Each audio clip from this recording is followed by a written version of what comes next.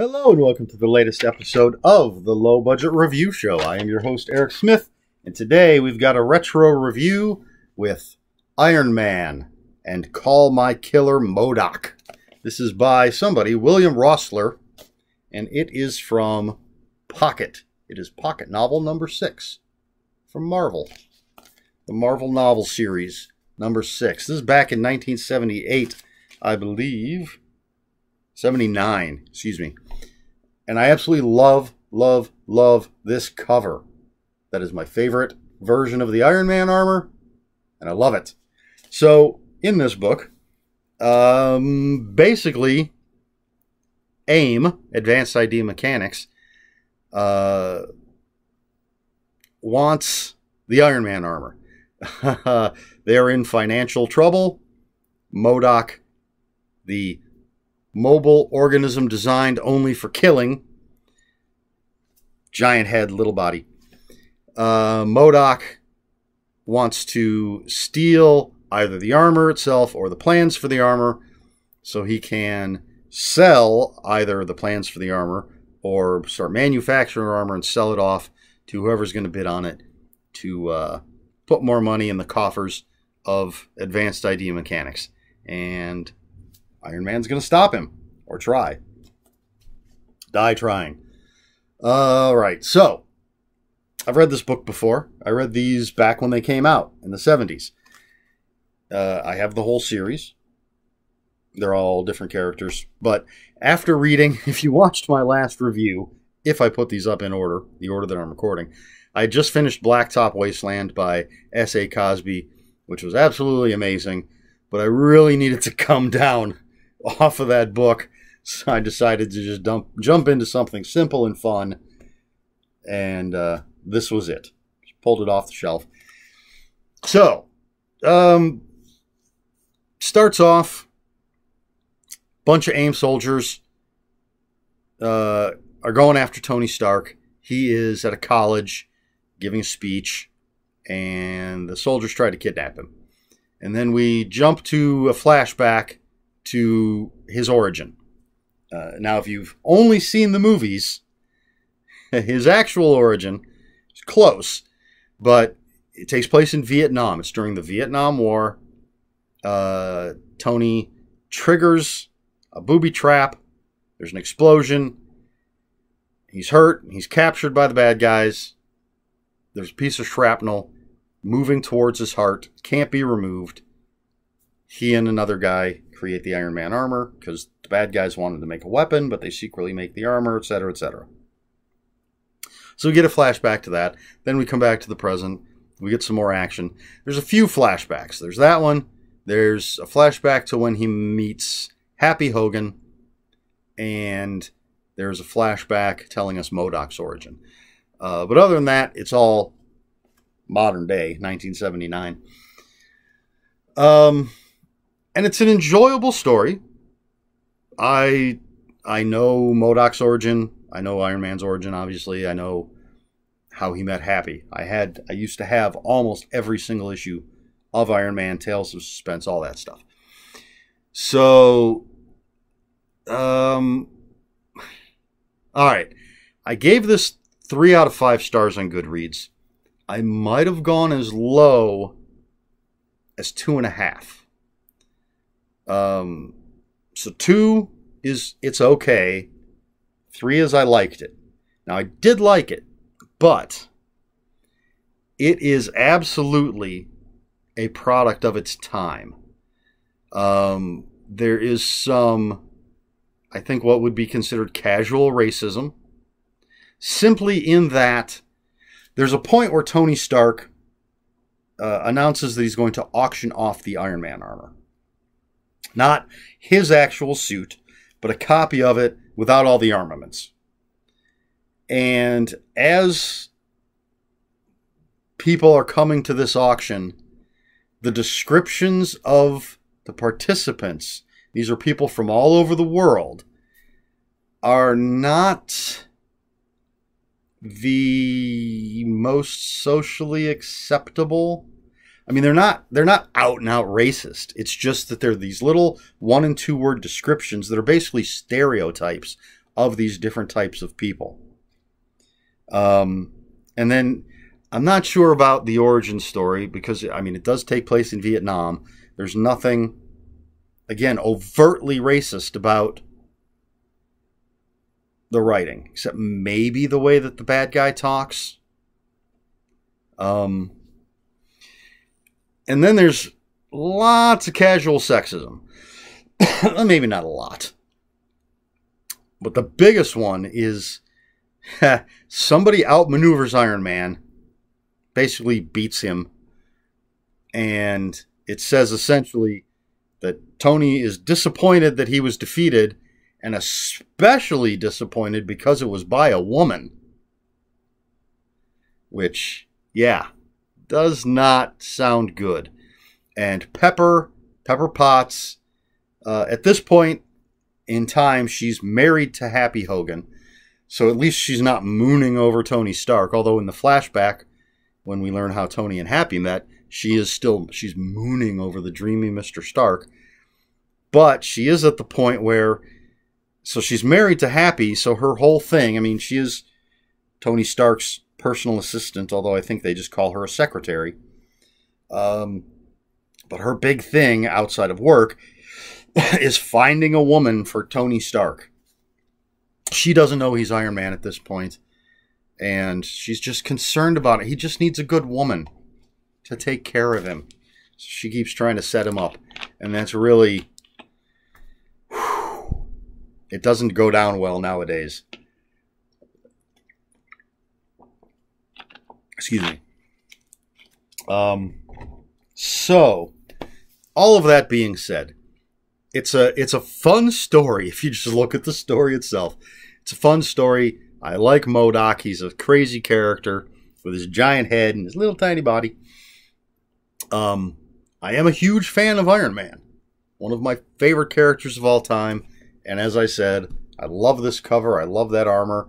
If you watched my pull list video, uh, comics pull list that has three weeks worth of comics on it, I just finished paying off an Iron Man statue that's this armor. It's beautiful. I'm looking at it. It's right there. It's beautiful.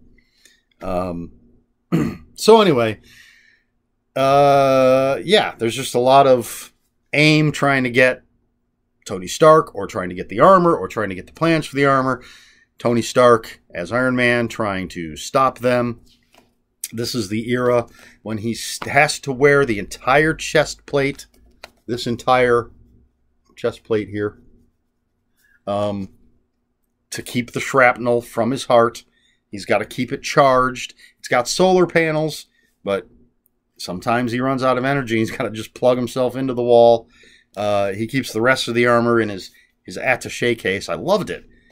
He, he had the chest plate on and basically the underwear part, and in his case he would pull out the gloves, he'd put them on, hit a button, and the sleeves would like shoot up. And the same with the boots, and they would shoot up, and then he'd pop the helmet on. So good. Uh, but it's it's that time period. Excuse me. And like I said, this is when Pepper is married to Happy. Happy is Tony Stark's chauffeur slash bodyguard. He does know that Tony is Iron Man. Uh, so it's it's it's a decent well, let me put it this way it absolutely captures the comic books of the time. Um, yeah, I don't think there's any huge deviations from what was going on in the comics. I think it's all pretty straightforward, except like the only thing it was weird. Uh, there's a little moth flying around in here. Um, for some reason, when they're flashing back to his origin story, it says that the very the original armor that he created in the hut in Vietnam was gold when it was gray in the comics. It was gray for a couple of issues, two or three issues, before he decided that was too scary and he painted it gold. That's the bulky bullet-headed armor. Um, so I don't know why why it said it was gold here. It's just odd.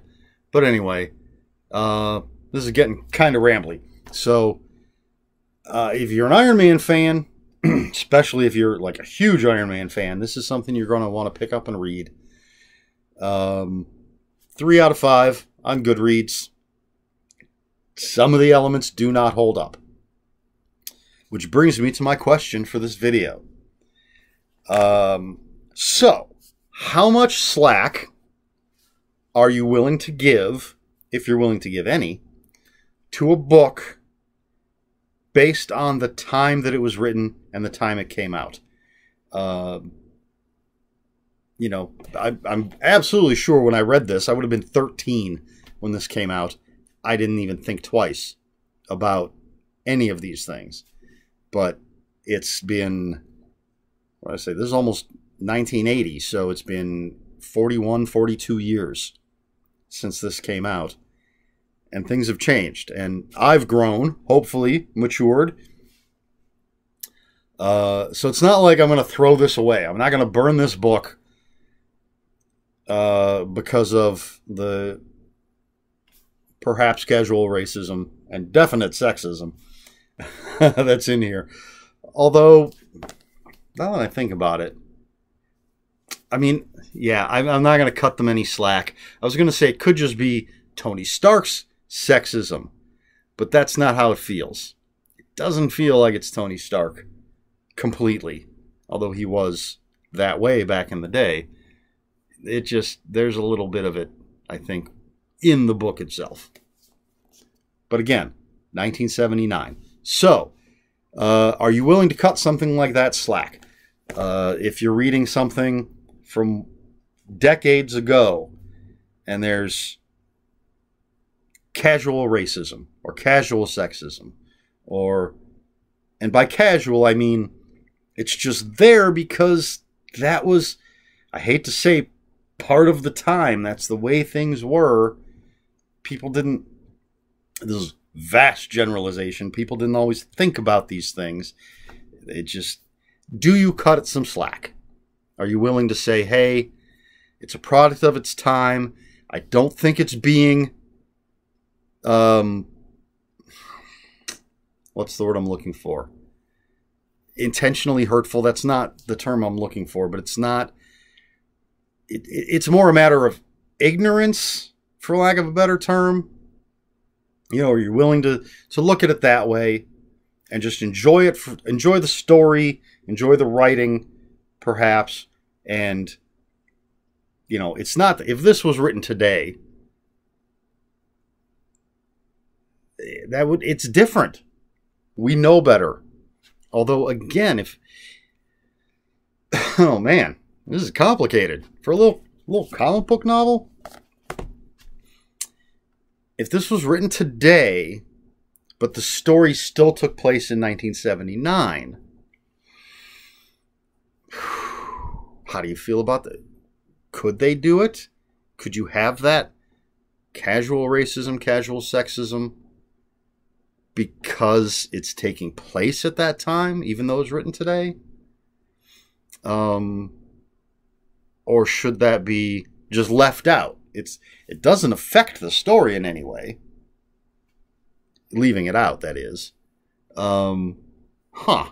Man, this could be a heady, a heady discussion we're gonna have. Uh, but anyway, so that's my rambling question, I guess. Hopefully, you understood what I'm asking. Uh, I actually just saw recently, I think on Twitter it was, people talking about um,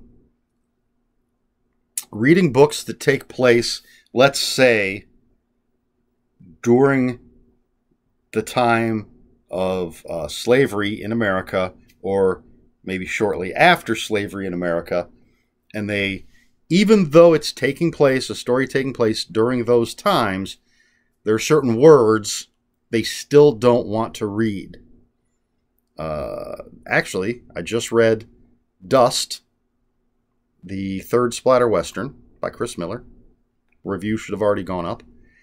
And they do use the N word.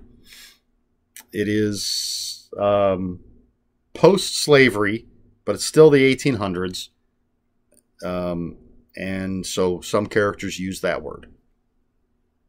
Obviously, the bad guys. But some people on Twitter were saying it doesn't matter. You don't have to use it. There are other terms. People just don't need to say it. Um, so I I think I don't know if that falls into my whole the question. It just sort of seems to fit into this whole category. I don't know. But like I said, we could have some there might be some deep discussion going on in this video.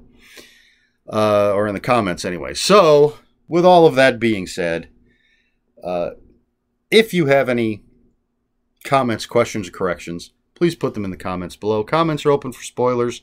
Just post spoiler warning. We try to be polite here at the Low Budget Review Show. Please like, share, and subscribe. If you'd care to follow me on other social media, my Twitter is at Ronan5757. My Instagram, where I post pictures of books, comic books, board games, and fuzzy animals, is Erik Smith5757. That's Erik with a K, E R I K S M I T H 5757. Uh, that's all I've got. This has been the Low Budget Review Show. I have been Erik Smith, and until next time, read more books.